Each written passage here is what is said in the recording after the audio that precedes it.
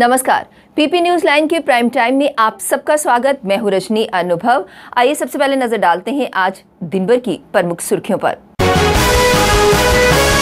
जम्मू कश्मीर का बजट विकास के साथ लोगों की उम्मीदों को पूरा करेगा, कहा सांसद जुगल किशोर ने। केंद्र सरकार ने जम्मू कश्मीर के लिए खजाना खोलते हुए रिकॉर्ड ग्यारह लाख बारह हज़ार नौ सौ पचास करोड़ का बजट किया पेश। अब उधमपुर और कुपवाड़ा में खुलेंगे दो मेडिकल कॉलेज। तीन दशक से अधिक समय से पाकिस्तान प्रायोजित आतंकवाद से निपटने और जम्मू कश्मीर में शांति व्यवस्था बहाल रखने पर सरकार का खासा ज़ोर है। इसके लिए बजट में गृह विभाग को साढ़े दस हज़ार करोड़ रुपए से अधिक का प्रावधान किया गया है। बिजली एवं स्वास्थ्य सेवाएँ भी प्राथमिकता पर हैं ताकि प्रदेश के हर नागरिक को बिजली तथा स्वास्थ्य सुविधा मुहैया करवाई जा सके। ग्रामीण विकास सड़कों व पुलों के निर्माण, कृषि बागवानी का भी बजट बढ़ाया गया है। जम्मू कश्मीर 1990 के दशक से ही आतंकवाद का, को झेल रहा है। अनुच्छेद 370 हटने और जम्मू कश्मीर के केंद्र शासित प्रदेश बनने के बाद से राज्य की कानून व्यवस्था में सुधार आया है, लेकिन पाकिस्तान यहाँ शांति के माहौल में खलल पैदा करने की लगातार साजिशें कर रहा है। कश्मीर के साथ ही जम्मू संभाग में भी आतंकी घटनाओं को अंजाम देने की लगातार कोशिशें हो रही हैं। छुट्टी पर घर आने वाले जवानों की हत्या रोकना पूरे समाज की सामूहिक ज़िम्मेदारी है, ये बात। कश्मीर घाटी में सेना की कमान संभालने वाले पंद्रहवीं कोल के GOC lieutenant general DP Pande ने सोमवार को उत्तरी कुपवाड़ा ज़िले में पत्रकारों से बातचीत के दौरान कही। जीओसी ने कहा कि कुपवाड़ा ज़िले में लंबे समय तक हिंसा का खमियाजा उठाया गया है।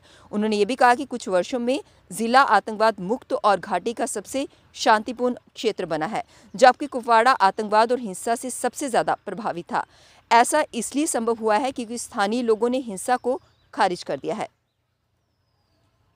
केंद्र सरकार ने केंद्र शासित जम्मू कश्मीर के लिए खजाना खोलते हुए रिकॉर्ड ग्यारह लाख बारह हज़ार नौ सौ पचास करोड़ रुपए का बजट पेश किया है। वित्त मंत्री निर्मला सीतारमन ने लोकसभा में केंद्र शासित प्रदेश का तीसरा बजट सोमवार को पेश किया। बीते वर्ष की तुलना में इस बार बजट में चार हज़ार करोड़ रुपए की बढ़ोतरी की गई है। साल 2021-22 के लिए एक अशारिया आठ लाख करोड़ का बजट पारित किया गया है। साल 2019 में अनुच्छेद 370 व 35 ए को निरस्त करने और राज्य को दो हिस्सों में विभाजित करने के बाद केंद्र की ओर से इसे पेश किया गया। ये तीसरा बजट है। कुल ग्यारह लाख बारह हज़ार नौ सौ पचास करोड़ रुपए के बजट में से इकहत्तर हज़ार छः सौ पंद्रह रुपये राजस्व खर्च और इकतालीस हज़ार तीन सौ पैंतीस रुपये पूंजीगत खर्च होगा। राजकोषीय घाटा आठ लाख नौ सौ सत्तर करोड़ रुपए दिखाया गया है। वर्ष 2021-22 के लिए अठारह हज़ार आठ सौ साठ अशारिया तीन दो करोड़ रुपए की अनुपूरक अनुदान मांगे भी सदन में रखी गई हैं बजट में शिक्षा को पहली प्राथमिकता दी गई है। शिक्षा के लिए ग्यारह लाख आठ सौ बत्तीस अशारिया सात सात करोड़ के बजट का प्रावधान किया गया है। पिछले वर्ष की तुलना में शिक्षा बजट का छः गुना अधिक है। पिछले बजट में शिक्षा के लिए एक हज़ार आठ सौ तिहत्तर करोड़ रुपए का प्रावधान किया गया था। जम्मू कश्मीर के सांसद जुगल किशोर शर्मा ने कहा कि जम्मू कश्मीर का बजट विकास को गति देना देना है। साथ ही लोगों की उम्मीदों को भी पूरा करने में मदद करेगा। इस बजट से कश्मीर केंद्रित दलों का निराश होना तो स्वाभाविक है, क्योंकि अब अनुच्छेद 370 हटने के बाद से ही वे हताश हैं। अब तक ये दल बजट की रकम से अपना ही घर का विकास करते थे। लोकसभा में जम्मू कश्मीर के बजट का, पर बहस के दौरान भाजपा सांसद ने कहा कि प्रदेश में हो रहे विकास से आम लोग खुश हैं। अब फंड भ्रष्टाचार की भेंट नहीं चढ़ता, बल्कि इसका इस्तेमाल धरातल पर होता है। उन्होंने कहा कि अनुच्छेद 370 की आड़ में सत्ता का दुरुपयोग करने वाले विकास के लिए आई रकम खा गए। इन दलों ने परिवारवाद, आतंकवाद, भ्रष्टाचार व रिश्वतखोरी को शह दी। तीन दशक से पाकिस्तान के युद्ध का सामना कर रहे जम्मू कश्मीर में सुरक्षा, शांति और स्थिरता की बहाली के साथ विस्थापित कश्मीरी पंडितों की कश्मीर वापसी केंद्र व प्रदेश सरकार की प्राथमिकता है। संसद में पेश किए गए वर्ष 2022 तेईस के लिए जम्मू कश्मीर के वार्षिक बजट में केंद्र सरकार ने इस विषय पर खासा ध्यान दिया है। कश्मीरी पंडितों के कल्याण और कश्मीर में उनके सम्मानजनक वापसी को ध्यान में रखा गया है।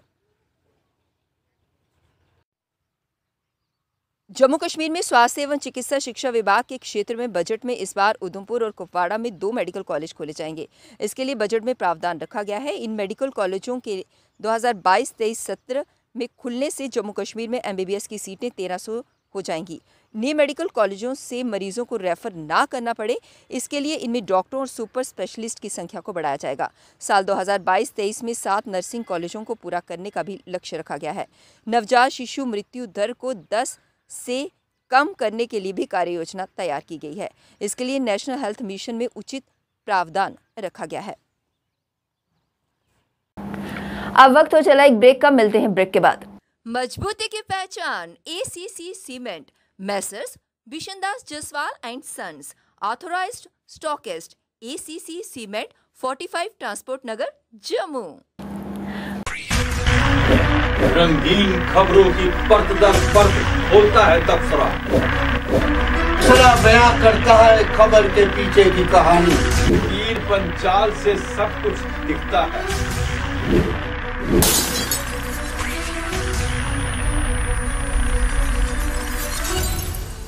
ब्रेक के बाद बढ़ते हैं अगली बड़ी खबर की तरफ़। कल रेजिडेंसी रोड में एक कबाड़ में आग लगने के बाद कुछ लोगों को सुरक्षित निकाला गया और उन्हें सेंट पॉल चर्च में रखा गया और हर तरह की सहूलियत भी मुहैया करवाई गई। वहाँ के सेंट पॉल चर्च के फादर रेव विजय कुमार ने बताया कि लोगों को बाहर सुरक्षित निकालने में डिस्ट्रिक्ट एडमिनिस्ट्रेशन, रेड क्रॉस और वहाँ की कम्युनिटी का बहुत बड़ा हाथ है और आज उन लोगों को सुरक्षित यहाँ पर निकाला गया है। इसी के बारे में अधिक जानकारी साझा की सेंट पॉल चर्च के फादर रीफ विजय कुमार ने एक घटना हुई है, जो कुछ भी हम सबको इसके बारे में मालूम है।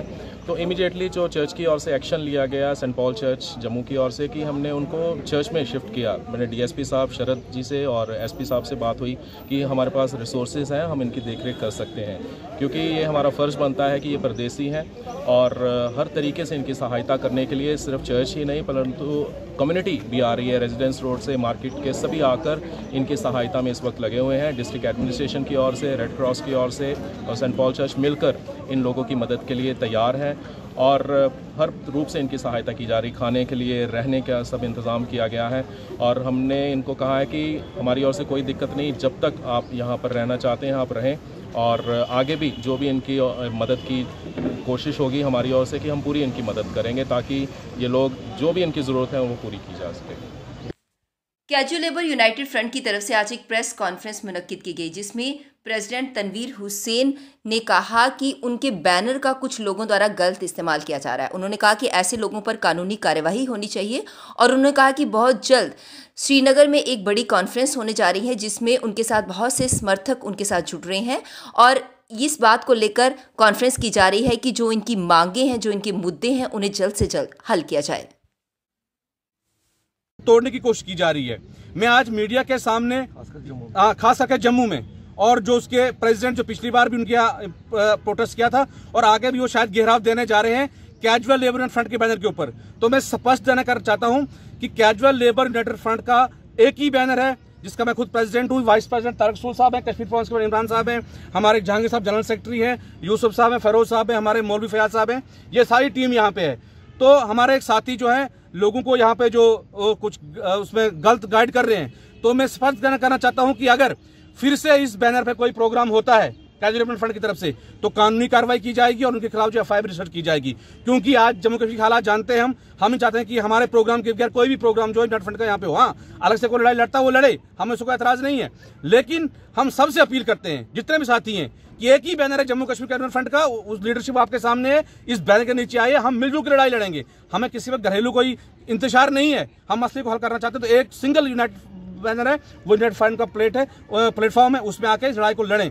ये मैंने कहना था, मैं रिक्वेस्ट करूँगा, जो इमरान साहब है, हमारे कश्मीर पॉन्स के प्रेसिडेंट है पीपी न्यूज़ लाइन के प्राइम टाइम के आज के इस अंक में बस इतना ही। मुझे और मेरी पूरी टीम को दीजिए इजाज़त और आप जुड़े रहिए पीपी न्यूज़ लाइन के साथ। नमस्कार।